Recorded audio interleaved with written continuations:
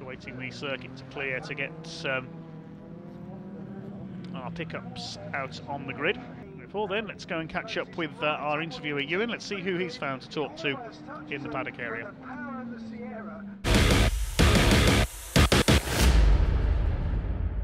Here we are then in the pits before race three of the pickups, and I've got our second place finisher, Danny Hahn. Danny, your best ever finish in pickup truck racing? Yeah, I'm over the moon really to get my first podium. Um, done my, this is my second year now in the pickup trucks. Uh, my last year I run with Dave's uh, old Ford engine pickup truck, so this year we switched to um, the Vauxhall. And I think the Vauxhall sort of suits me, and I think that sort of proves it out there really today. Um, first podium in pickup, second season, but you've done lots of racing before. Just a quick brief overview of your sort of racing career. Yeah, most of my racing career was done on the, on the, the oval racing, and then I just thought myself a lot with the, the business and the family. I thought I thought I'd go circuit racing because it suits me. It's good social, and it just it just suits me. Just suits Now, me. what did you learn most about trucks last year to now be a successful truck driver as such?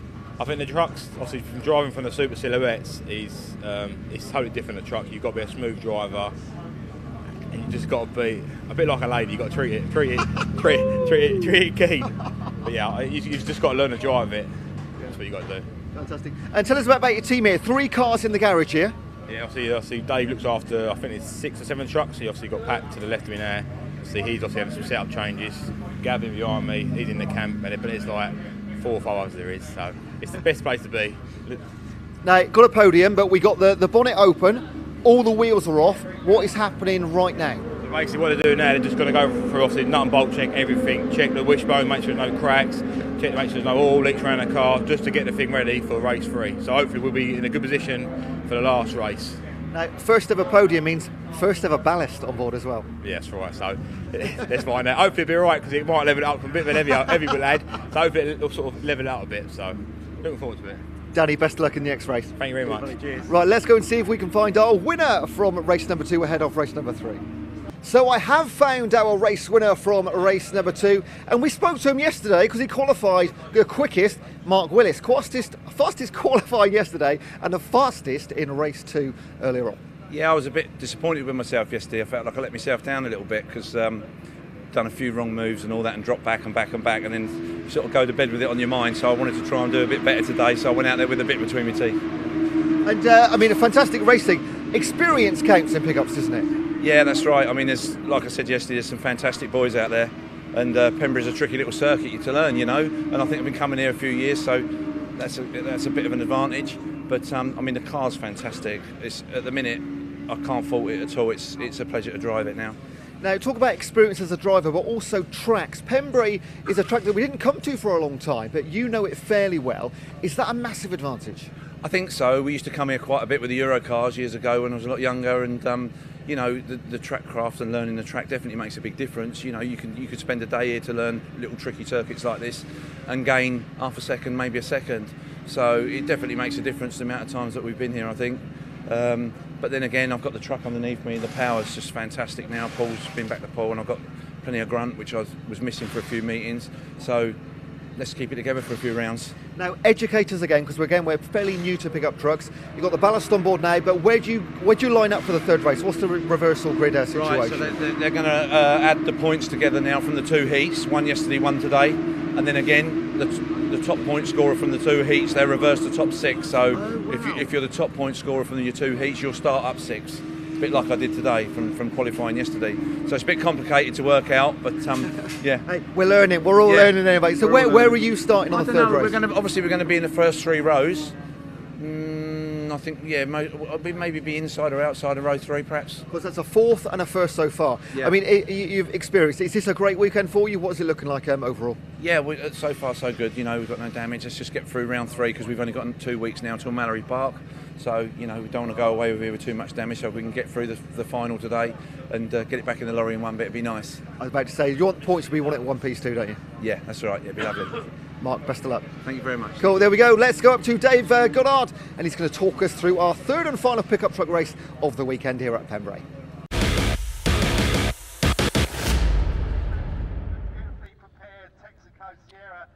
Thanks very much, Ewan. The uh, trucks on their way up to the grid then.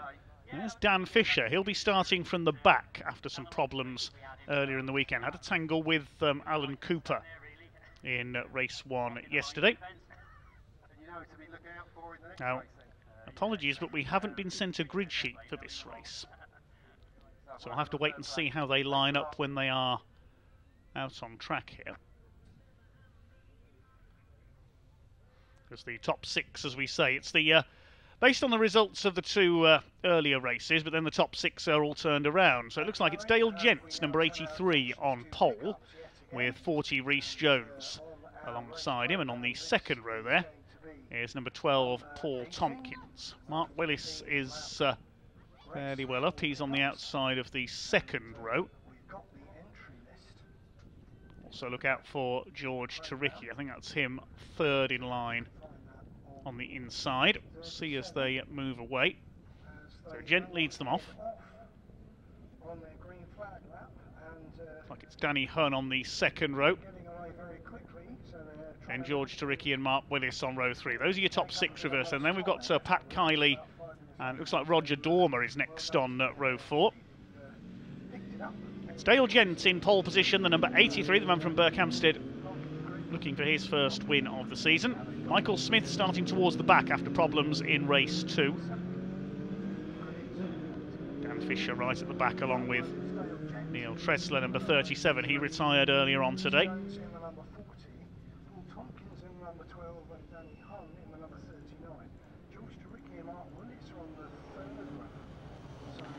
Pace truck leads them round.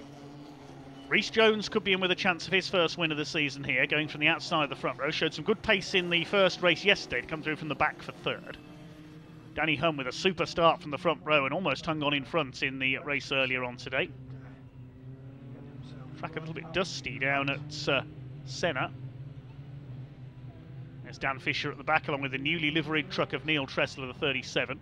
Alan Cooper, 72, has had a weekend to forget. He qualified on, well, started from pole in uh, the first race yesterday, but uh, was involved in an incident with Dan Fisher and then uh, spun in the race earlier today. George Taricki, the inside of row three, could be the man to watch. It's rare he uh, leaves a pickup race meeting without at least one win. This will be a 15 lap race. Looks like we've got all 18 pickups out there.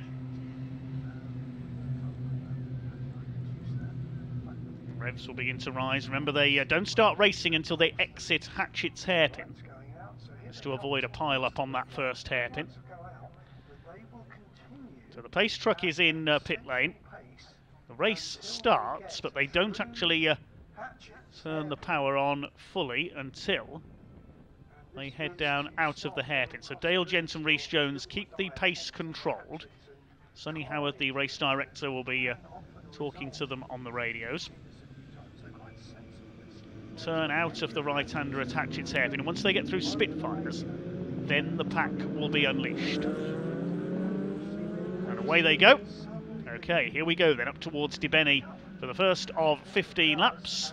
Race gets underway with the two pink trucks side by side of Jones and Gent. Jones will have the inside line for the left-hander as they come towards the crossing. Then up to Senna, it's Reese Jones who leads them off then in the number 40. Danny Hunn moving up on the outside.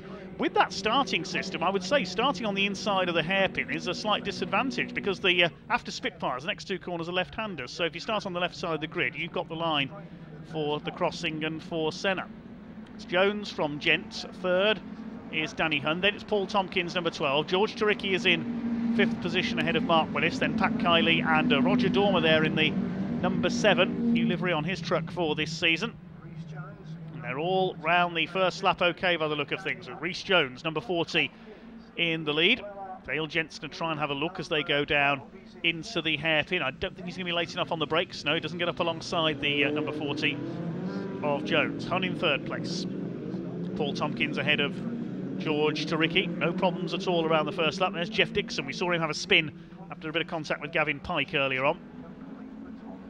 It's Jones who leads the train of trucks around towards the uh, crossing once again.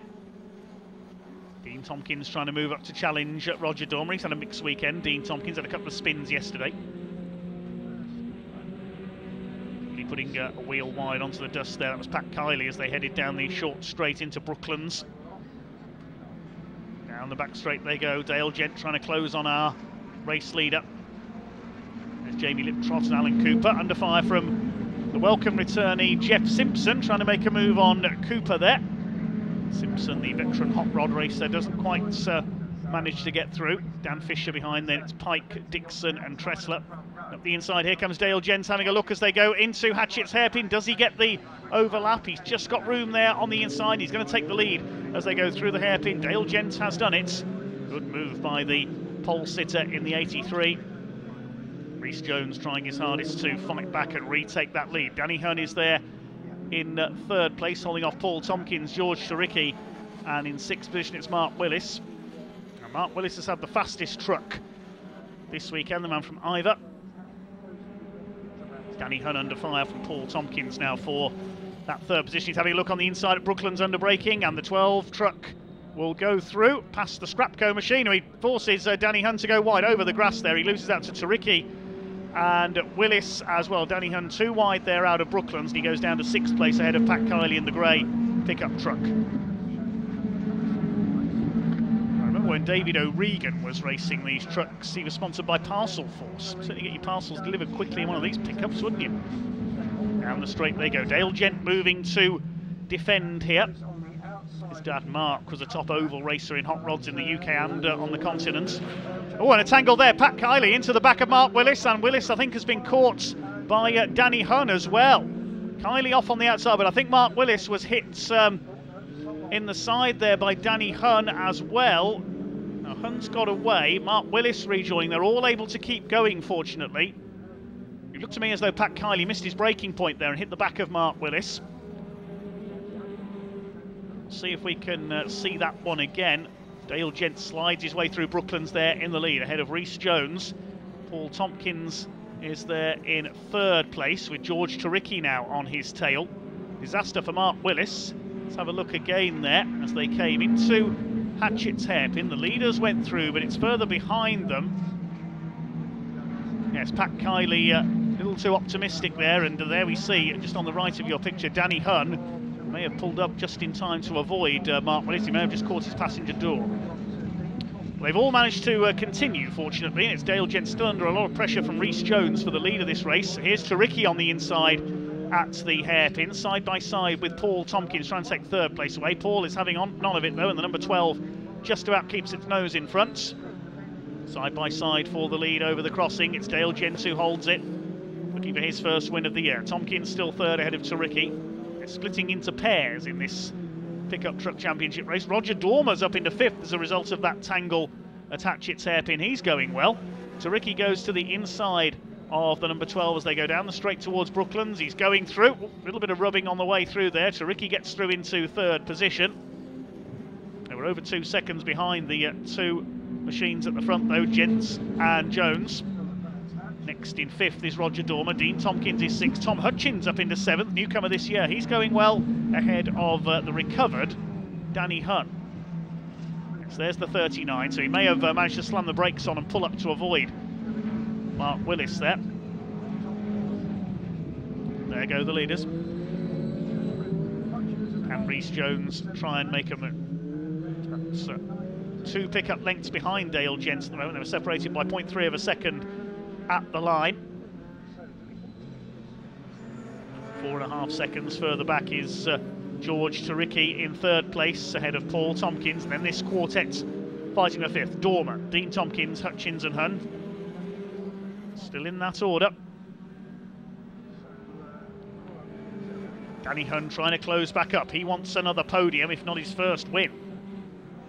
Ninth behind them is Michael Smith from the back after those problems in race two, and Dan Fisher from the back of the grid is up into 10th position. I think we've lost um, Alan Cooper. Yes, he's dropped out of the race, number 72. He's had, uh, well, it started off promisingly with pole position for race one, but it's turned into a nightmare weekend for the 72. He's out of it.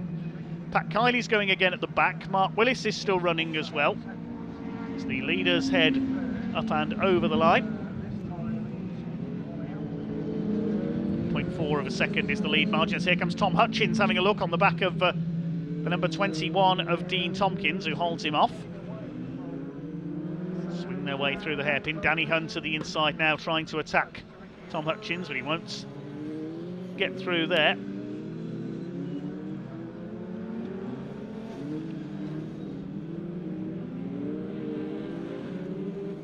Dean Tompkins threatening uh, an overtake on Roger Dormer. Roger Dormer, one of the best we've seen him run here in fifth position, a little bit sideways out of Senna, the right-hander there.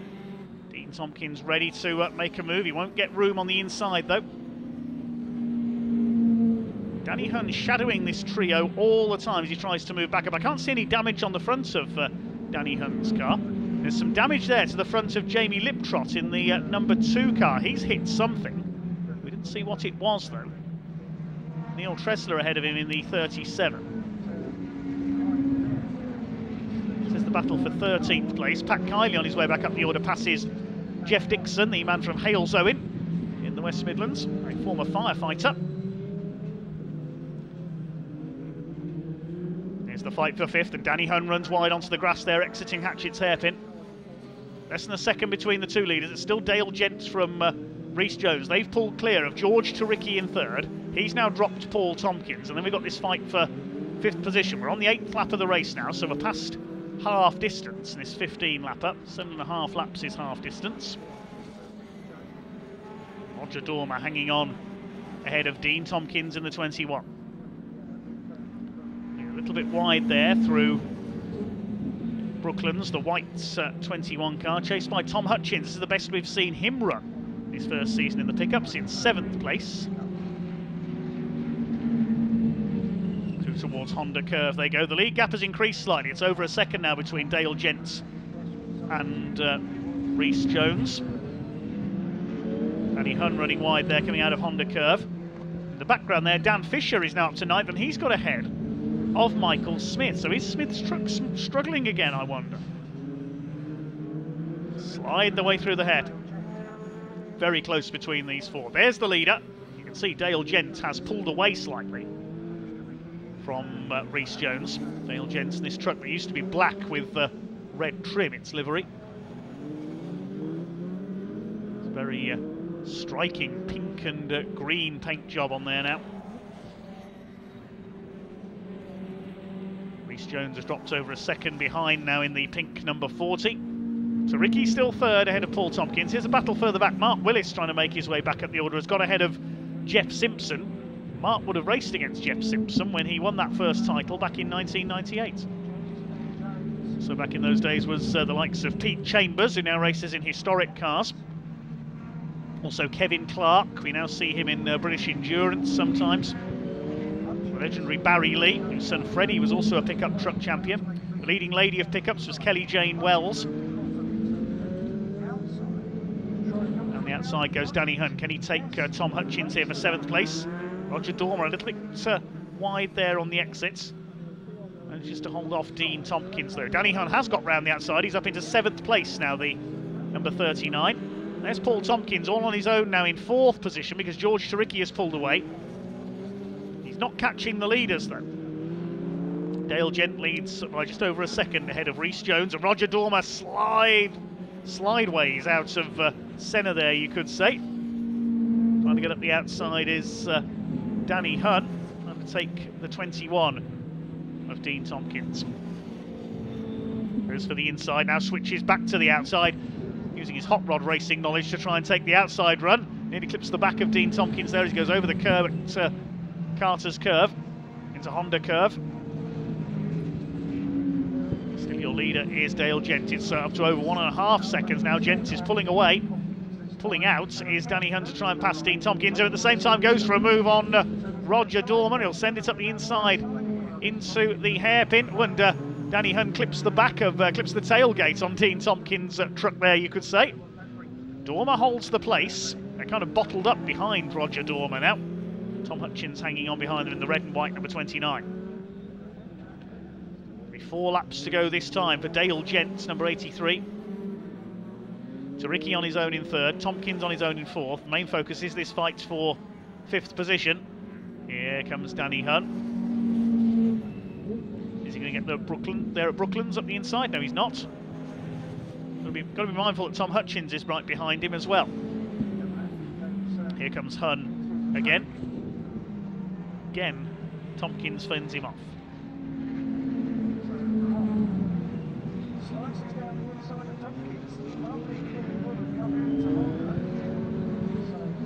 Couple of retirements. Alan Cooper's one. Jamie Liptrot has uh, pulled into the pits as well as up the inside comes Danny Hunn out of Honda Curve. And he finally gets the move done on Dean Tompkins. Now Dean stuck on the outside. He's trying to move to cover. Oh, excuse me, Danny Hunn, he says. What was that all about? Well, I think Dean Tompkins was trying to move to cover there from um, Tom Hutchins trying to make it up the inside into the hairpin. That's allowed Dan Fisher to close on them as well, but uh, it resulted in uh, Dean missing his breaking point and uh, pushing Danny Hunn onto the grass. Not sure what that was all about. Danny Hunn is fighting back. He's clearly not happy there. Closes back up on uh, Dean Tompkins. He'll go for the inside at Brooklands. And he goes through. I'm wondering if Dean Tompkins gave him the place back there because uh, of that little contretemps going into Hatchett's hairpin. I don't think that was intentional by Dean Tompkins. Oh, oh saying that, he dives back at the inside there. Wait and see what happens between these two. Dan Fisher getting involved as well. He started from the back and has come through into this little scrap. Behind them is Michael Smith. Mechanical problems affecting his weekend earlier on. Won the first race yesterday, failed to finish Race two. Oh, Danny Hunn's now gone straight on all on his own. Maybe he's got a problem with the brakes. Through go Smith and Willis. Yeah, I think Danny Hunn may be having braking issues there. We'll wait and see whether he continues on. A Couple of laps to go now. Dale Gent is now over two seconds clear. Meanwhile, we haven't forgotten about the leaders of uh, Rhys Jones. George Turicchi on his own in third. And now Dan Fisher was ahead of Dean Tompkins. They're both Oh, that was, uh, well, very graceful, if nothing else. Synchronised sliding there through Senna. Michael Smith moving up on them now. Dean Tompkins is all over the place. There's our leader. Dale Gent is well clear now.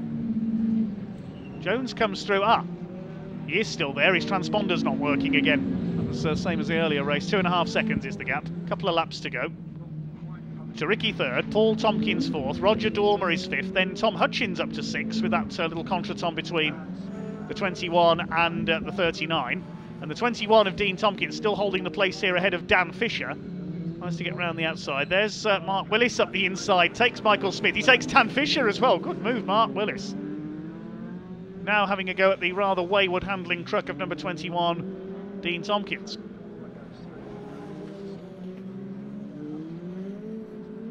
16 trucks still running out of the 18 that started. Tompkins goes wide. I think he's in trouble. Willis goes through. Fisher goes through. Fairly sure Dean Tompkins has got a problem there. He's got Mark Will Michael Smith on his tail. Whether he got some damage when there was that contact earlier on, whether it's damaged the rear suspension, he's sliding all over the place. The leader, though, is into his last lap. Well, he held off uh, Dale Gent in the uh, Dale Gent held off Rhys Jones in the early stages, but uh, fairly plain sailing for number 83, Dale Gents, on his way to his first win of the season. Got to negotiate this final lap. Rhys Jones in second, Ricky is well back in third, Tompkins, Paul Tompkins that is, on his own in fourth. Spectacular tail slides in all three races this weekend. Well, Michael Smith won race one, Mark Willis run race two. In race three, it's going to be the number 83, BP Mitchell Limited sponsored truck of Dale Gents. Here he comes towards Carter's Curve for the final time. Rhys Jones, a consistent weekend for him. Good drive through the field yesterday in race one from the back. He's going to have to settle for second place here because round Honda Curve for the final time and up to the checkered flag. It's a first win of the season for number 83. Dale Gent takes the flag. Second goes to Reese Jones, three and a half seconds apart at the flag. These two are still at it, Dean Tompkins and uh, Danny Hunn. Fair bit of contact between those two during this race. Danny Hunn trying to uh, fight back. George Turicchi completes the podium and should keep his championship lead. Paul Tompkins is fourth. Fifth goes to Roger Dormer. Great result for him. And sixth, a good result for Tom Hutchins as well. Well done, Mark Willis, fighting his way back up to seventh ahead of Dan Fisher. Dean Tompkins will come over in ninth, just ahead of Danny Hunn. Uh, Michael Smith. Have we lost Michael Smith there on the last lap? No, his transponder was late coming through. He was ninth. Apologies there. Jeff Simpson finishes 12th on his comeback. Confirm that result in a moment because a couple of transponders weren't working there towards the end of the race, so it mixed the timing up slightly. Jeff Dixon is the final finisher. And well done, Dale Gent. A first win of the season for the number 83.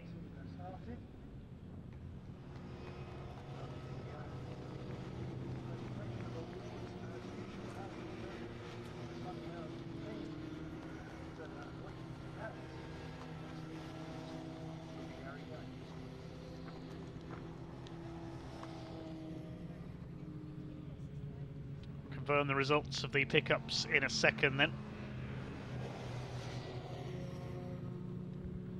Well done to uh, Dale Jensen, Reese Jones. They were nose to tail in the early stages before Dale was able to pull away. All the action was in the pack behind them. Well done to the Pickup Truck Racing Championship. Always spectacular wherever they race. Quite rare we see George Taricki go home without a win over the last couple of years, but uh, had to settle for three podiums here, but he'll keep his uh, championship lead, I would think, once the maths is all done. It's a win for Dale Gents by three and a half seconds in the end ahead of Reese Jones. Taricki in third place, ahead of the rather lonely Paul Tompkins in fourth.